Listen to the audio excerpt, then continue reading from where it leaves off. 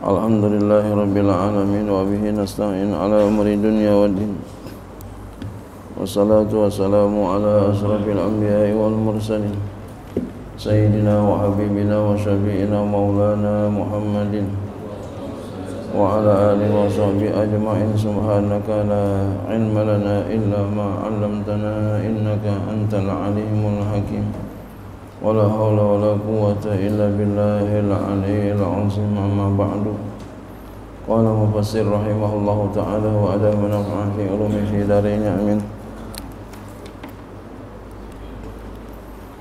والعجب أن الحافظ أبا عبد الله الحاكم في كتابه المستدرك.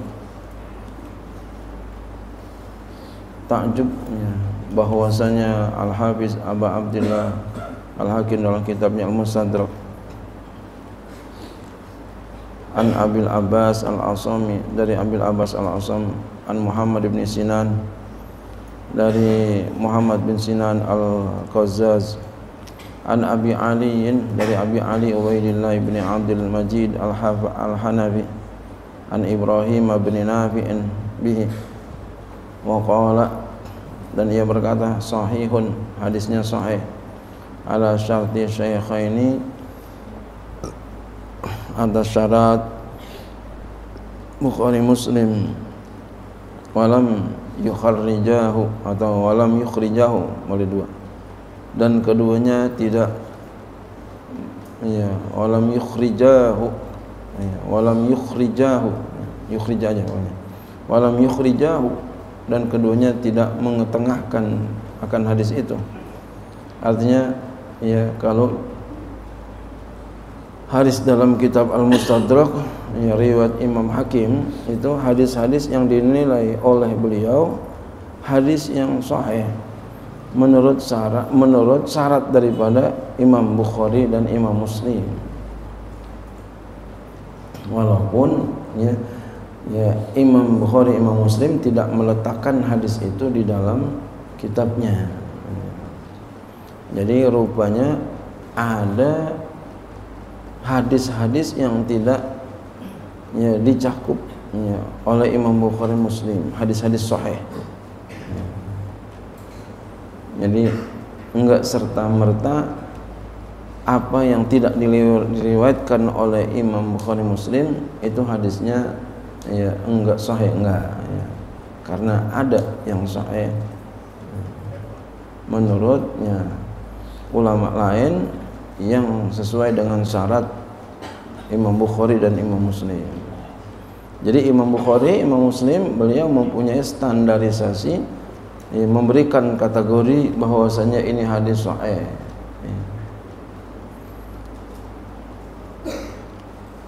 itu Imam Bukhari gurunya Imam Muslim. Jadi, jadi Imam Muslim itu muridnya.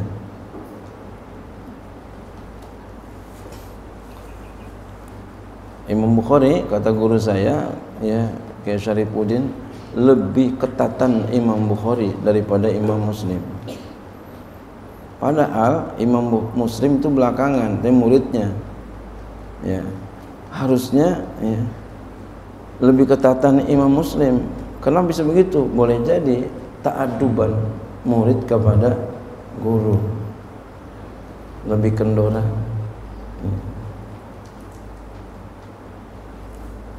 Ulama-ulama dulu begitu. An Ibrahim bin Nafi' dari Ibrahim bin Nafi' bihi wa qala dia berkata hadisnya sahih menurut ya, syarat daripada Imam Bukhari dan Imam Muslim walam yukhrijahu. Namun ya keduanya tidak mengetengahkan akan hadis itu. Tidak memberikan ya tidak meletakkan dalam dua kitab sahihnya itu. Kaza qala seperti inilah yang telah dikatakan oleh Imam Hakim. Waqad rawahu Bukhari. Ya ya, berarti sana tadi terjemahnya wal ajabu heran gitu ya. Sungguh heran gitu. Ya. mengherankan. Maka tadi saya mengherankan padahal Waqad rawahul Bukhari Imam Bukhari telah meriwayatkan hadis itu ya.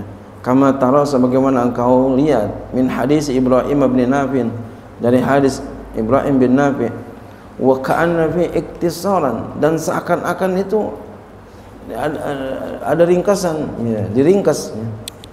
Fa innahu lam yuzkar fi sya'na zabhi ya. Maka sesungguhnya tidak disebutkan dalam hadis itu ya tentang keadaan ya, menyembelih Waqad jaa dan sungguh telah datang fi sahih dalam hadis sahih anna qarnail kabsi bahwasanya dua tanduk kambing ya bagi bas karena adalah itu muallaqaini digantungkan bil Ka'bah di Ka'bah. Waqad jaa dan sungguh telah datang keterangan anna Ibrahim bahwa Nabi Ibrahim alaihissalam kana yazuru ahlahu bi Makkah. Adalah beliau menziarahi keluarganya yang di Mekah yaitu Siti Hajar dan Nabi Ismail. Setelah beliau tinggalkan pengen tengokin. Nah, beliau ada di Baitul Maqdis. Jadi Nabi Ibrahim ada di Baitul Maqdis sama Siti Sarah. Ya. Siti Hajar sama anaknya Nabi Ismail itu ditaruh di Mekah. Waktu itu belum ada papa. Masih dalam keadaan sepi senyap ya. kalau di sini hutan kalau di sono gurun masya Allah ya. udah lama pengen tengokin lah tengokin lah ditinggal Iya, memang begitu kalau bini dua, bini muda. Pokoknya di mana aja iya aja dah. Diam-diam aja di sini katanya. tinggal di kontrakan masih iya aja nah.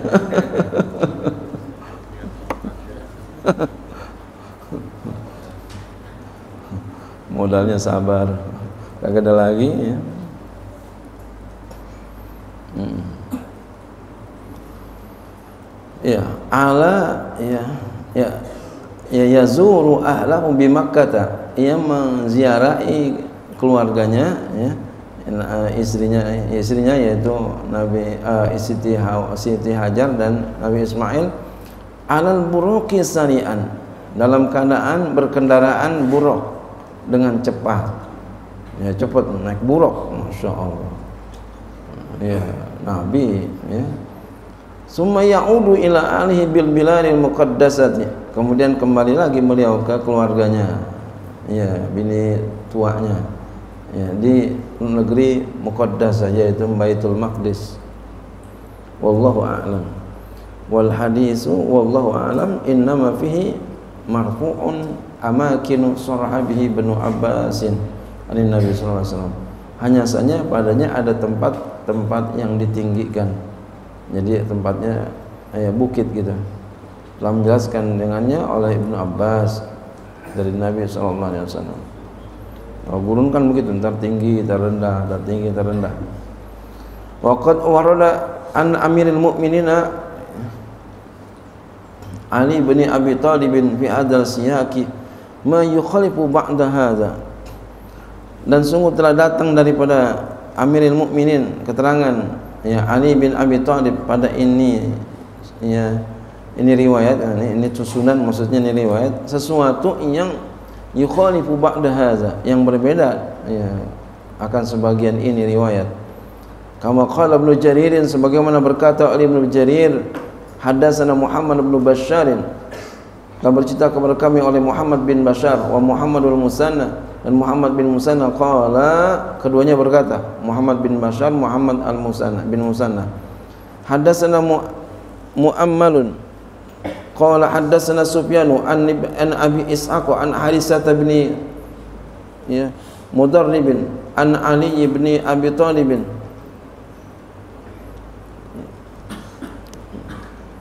Qala lamma umira Ibrahimu ia berkata Ali bin Abi Thalib tatkala diperintahkan Nabi Ibrahim bibina baiti untuk membangun Baitullah kharaja beliau keluar. Ya nah, keluar ma'ahu bersama Nabi Ibrahim Ismailu. Nabi Ismail wa Hajar dan Hajar. Berarti kalau menurut riwayat ini perintahnya ya masih di Baitul Maqdis. Ya belum keluar Baitul Maqdis keluar. Kalau kemarin kan riwayatnya kan kenapa dikeluarin? Eh, Nabi Ismail kenapa bawa Nabi Ibrahim kenapa bawa anaknya bawa istrinya itu karena yang telah terjadi uh, percekcokan itu ya antara Nabi Ibrahim dengan Siti Sarah kalau ini Nabi Ibrahim keluar ya ajak Siti eh, ajak istrinya yang kedua Siti Hajar dan Nabi Ismail anaknya ya karena perintah Allah untuk bangun Baitullah. Jadi biar di sono ada yang tempatin. Oh, gitu. Kayak kita kan begitu. Iya, mau bangun rumah di sono biar ada yang tempatin di sono. Lu aja tinggal sono dah. Gitu. Semuanya masuk akal ya.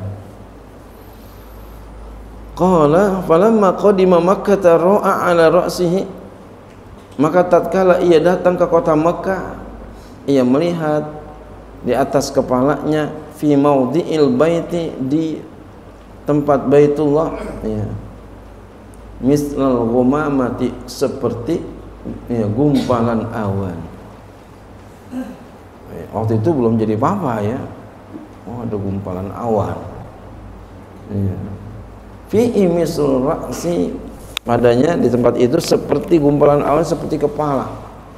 Fakallamahu lalu Nabi Ibrahim bicara kepada awan itu qala awannya ngomong ya Ibrahimu wahai Ibrahim ibni ala zilli bangunlah engkau bangun Ka'bah Baitullah ya di atas naunganku. Ya. Suruh bangun ya naungannya. Hampir adem ya. jadi dinaungin bangun sambil dinaungin awan. Nah, kenapa begitu? Ya panas Masya Allah panas bener panas banget kita di sini aja kita di sini aja nih hitam atau kita di sini aja nih membangun nih hitam nih Bagaimana di sono? Bukan hitam lagi, angus. Masya Allah. Ya, yang udah pernah pergi haji, ya, yang udah pernah umrah, pergi umrah pasti ngerasain tuh. Masya Allah, luar biasa tuh. Hmm. Kita jemur pakaian aja paling berapa menit? 15 menit ya kering udah. Hmm. Masya Allah. Jadi membangunnya dinaungin awan.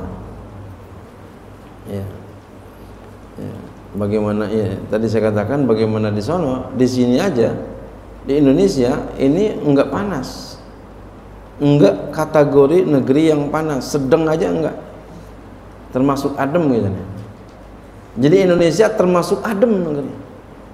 Itu saya baca dalam kitab syarah ya Hasyiah Fathul Qarib. Ya Baijuri Mesir aja itu nggak kategori panas Mesir Masya Allah itu kata ya. Saya Baijuri Mesir aja nggak kategori panas. Oh, bagaimana kita itu ya? Kita nggak panas berarti ini adem nih termasuk. Men kita aja dikit-dikit ngomong panas nih panas ya. Iya, di sono baru panas banget tuh. Jadi dinaungin awan.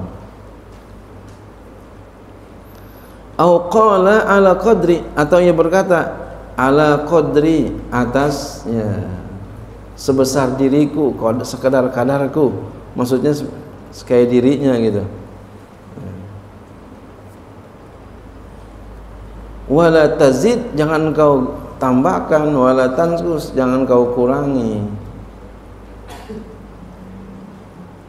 Jadi suruh bangun sekadar dirinya bangunnya tuh awannya bangun bangun uh, awannya ngomong bangun nih Ka'bahnya sebesar diriku ya Ka'bahnya ya. jangan Hah? Iya, bukan bayang-bayang, emang langsung di sini tuh. Kayak payung. Gitu. Kayak payung, dipayungin jadinya. adem jangan kau tambahkan jangan kau kurangin besarnya. Falamma bana maka tatkala Nabi Ibrahim telah membangun Ka'bah kharaja beliau keluar beliau tinggalkan. Wa khallafa Ismailu wa Hajar. Ya. Dan ia meninggalkan Nabi Ismail dan Siti Hajar tinggalin. Jadi di situ yang nungguin. Faqalat Hajar lalu berkata Siti Hajar, "Ya Ibrahim, wahai Ibrahim." ya, wahai Ibrahim. Kalau istri-istri jangan kayak begini ya. Ini dulu mungkin seperti ini. Terus mungkin manggil lakinya yang manggilnya namanya Budi. Eh Budi mau ke mana? Jangan gitu aja. Dalilnya kuat nih katanya. Oh jangan begitu. Iya. iya karena boleh jadi karena ini uh, Siti Hajar ini beliau bekas budak jadi belum tahu bagaimana cara akhlak. Boleh jadi begitu.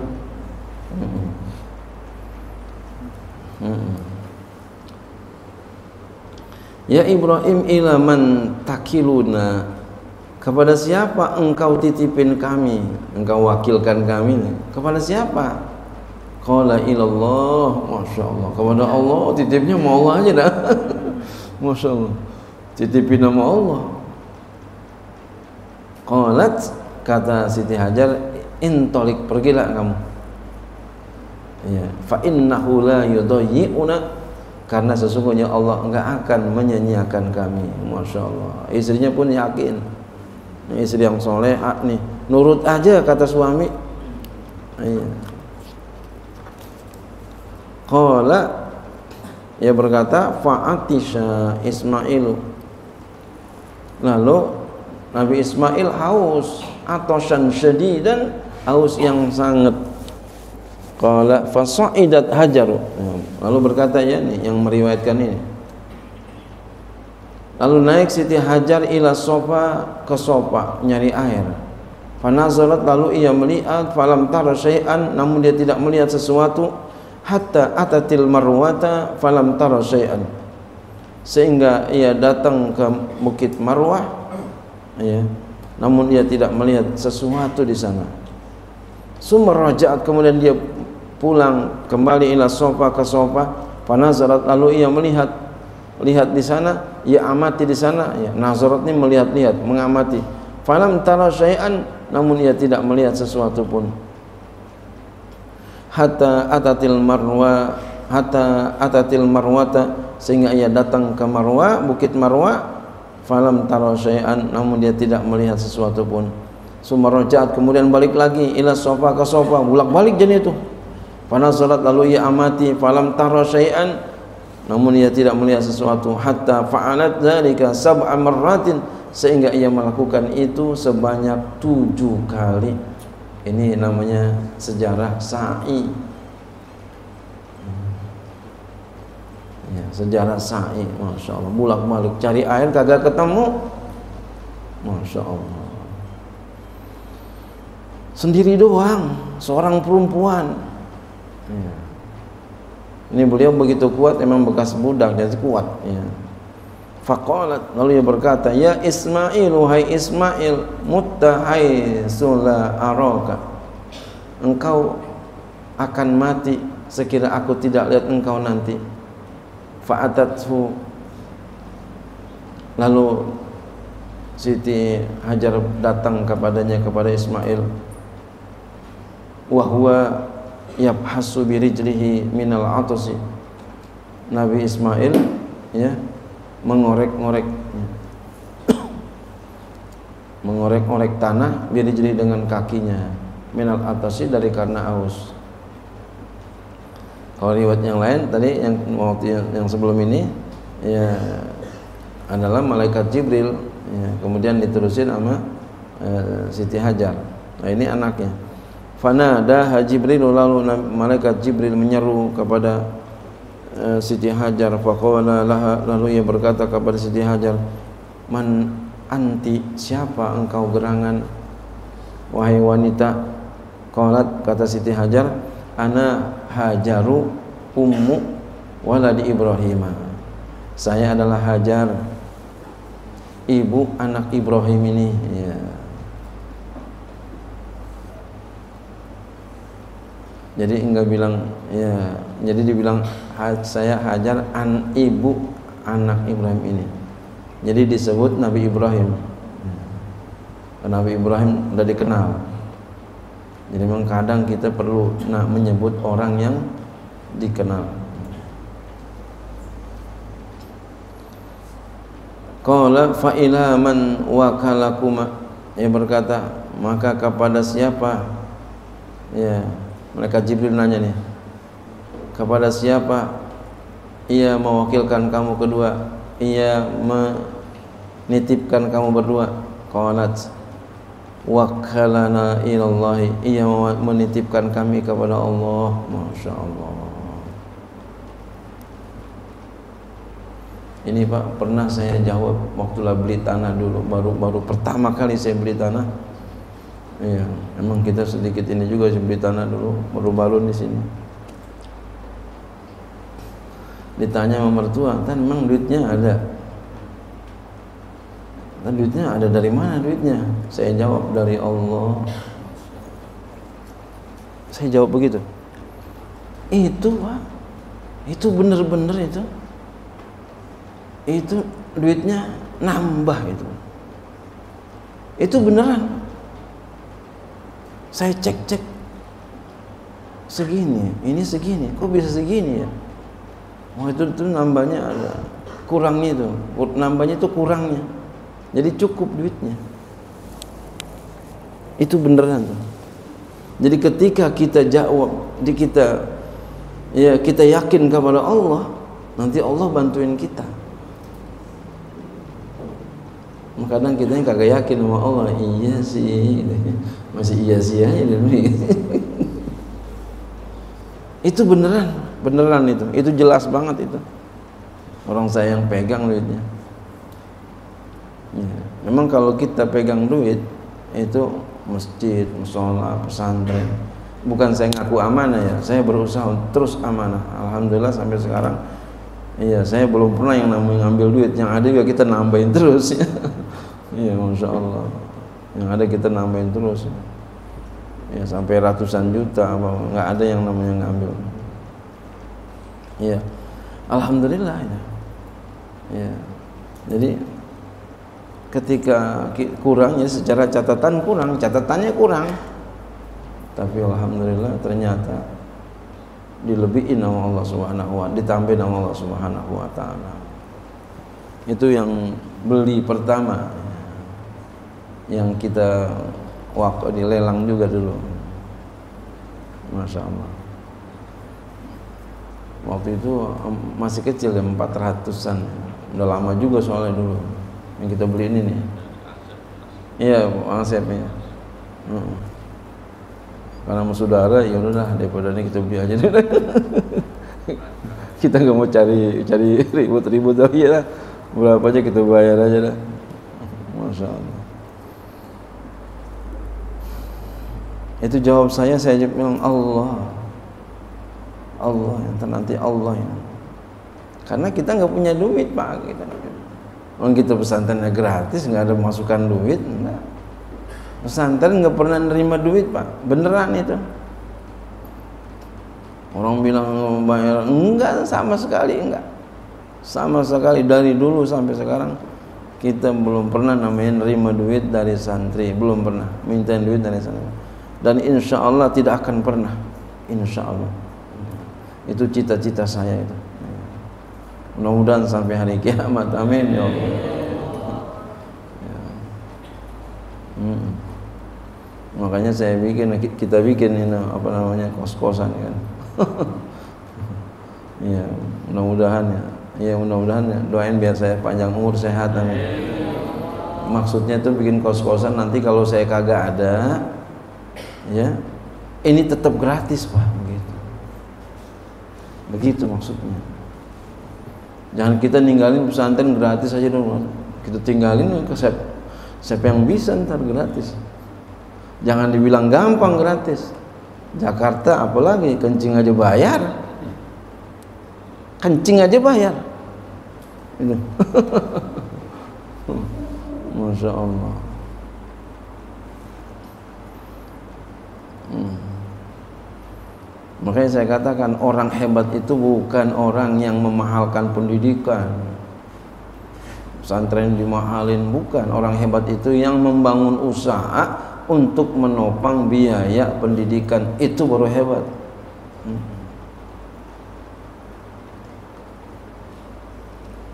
ya doain aja ini mah terus kita masih apa namanya kita masih uh, membangun terus masih memupuk terus itu ya,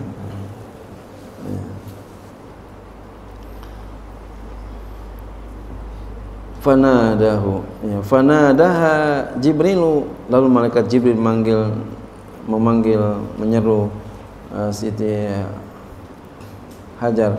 Faqala laha man anta? Siapa man anti siapa engkau? Man anti qalat ana hajaru ummu waladi ibrahim. Saya adalah hajar ibunya anak ibrahim ini qala fa ilaman wakalakuma kepada siapa engkau ya uh, ia menitipkan kamu berdua? Qalat wa kalana ia menitipkan kami ila Allah kepada Allah. Qala wa kalakuma ila kafin. Kata malaikat Jibril ia menitipkan kamu ia wakilkan kamu berdua ila kafin kepada yang maha mencukupi. Masya Allah. Jadi kalau kita serahkan kepada Allah itu Allah cukupin semua Pak. Bapak ibu lagi sedih ingat sama Allah. Selain Allah. Tenang yakin itu. Tapi tetap kita ikhtiar itu wajib. Ya umpama ini rezeki kita susah banget. Ingat sama Allah selain nama Allah. Tapi tetap kita ikhtiar. Jangan diam aja jangan tenang kita. Hmm. Allah. Sebut Allah. Kita punya usaha. Pengusaha kita umpama punya kantor anak buah kita resign berhenti dari kita. Dia mau bikin lagi umpama jadi pinter umpama.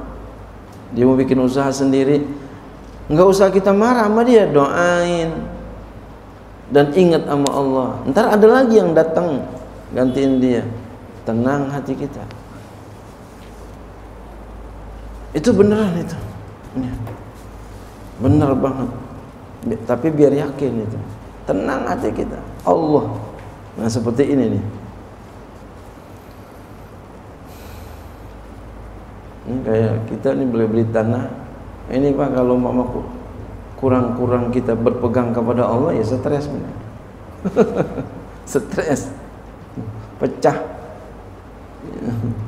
Kalau kurang-kurang kepada Allah kurang-kurangnya kita berserah diri kepada Allah dan enggak ada pertolongan Allah.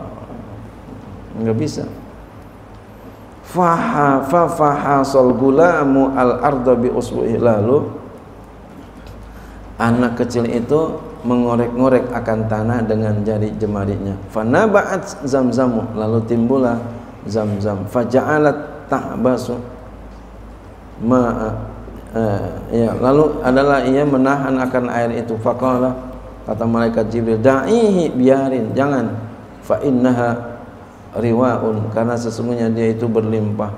Dia akan keluar sendiri tuh ngerobok mau bahasa kita ngerobok fa fi siyaki maka pada ini susunan maksudnya riwayat annahu bahwasanya Nabi Ibrahim bana baita beliau membangun Baitullah qabla an yufariqaha sebelum ia tinggalkan Siti Hajar. Jadi dibangun dulu Baitullah baru ditinggalkan. Ya, waqat yuhtamalu dan kadang ya, ya, bisa juga maksudnya muhtamil diihtimalkan maksudnya kalau bahasa sekarang tuh diinterpretasikan ya. dibawa paham. Annahu kana mahfuzan bahwasanya beliau adalah mahfuz seorang nabi ya mahfuz ayyakuna awalan bahwasanya Nabi Ibrahim itu orang pertama wa ta'alahu hautan tahjiran. Orang pertama yang meletakkan patok-patok dan membatukannya itu ya. La annahu bana'u ila a'lahu. Bukanlah bahwasanya ya dia beliau itu yang membangun akan dia sampai atasnya. Hatta kabura Ismailu ya. Sampai ya, besar Nabi Ibrahim fabanayau ma'an. Lalu keduanya membangun Ka'bah itu bareng kama qala ta'ala sebagaimana Allah taala berfirman. Ya. jadi membangunnya bareng. Wallahu a'lam